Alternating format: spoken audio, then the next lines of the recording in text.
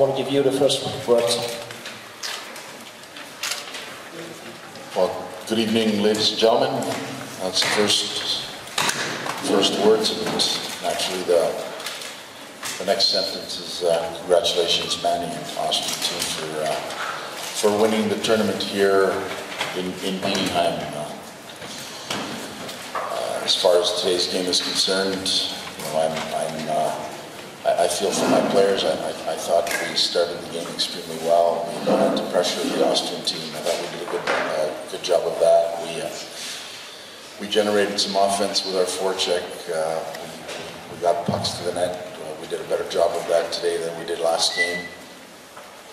Um, I thought we should had maybe one or, one or more first, second period. You know, you don't score those, uh, usually comes back to to haunt you. You know, the Austrians played an extremely disciplined, um, patient game.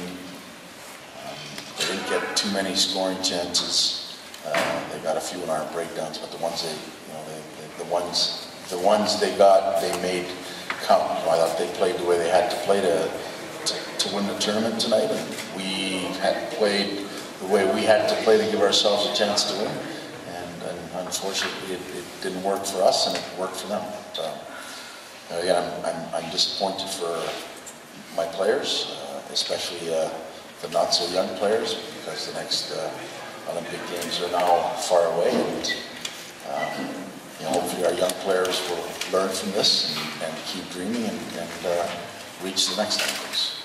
Again, I wish Manny and the Austrian team uh, all the best, and I hope they enjoy Sochi. And yeah, okay.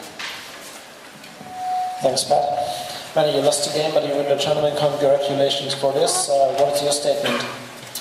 Well, thanks very much. Uh, we knew going into today's game that uh, Germany is a very, very strong hockey club, and uh, we knew we had to play uh, to our best level to, to, have a chance to win this uh, game in the tournament. And uh, I'm very proud of all of my guys of uh, sticking to our game plan, not just for this game, for the for the whole tournament. And uh, we've done everything that we've asked them to do uh, for the short time we've been together. Um, yes, uh, Germany certainly deserved to win the hockey game, and uh, at times we probably weren't lucky at times, but that's the way the game goes sometimes. I've been on the other side of that also too, disappointing situations. And, uh, but you know, I'm very, very proud of, of my players buying in.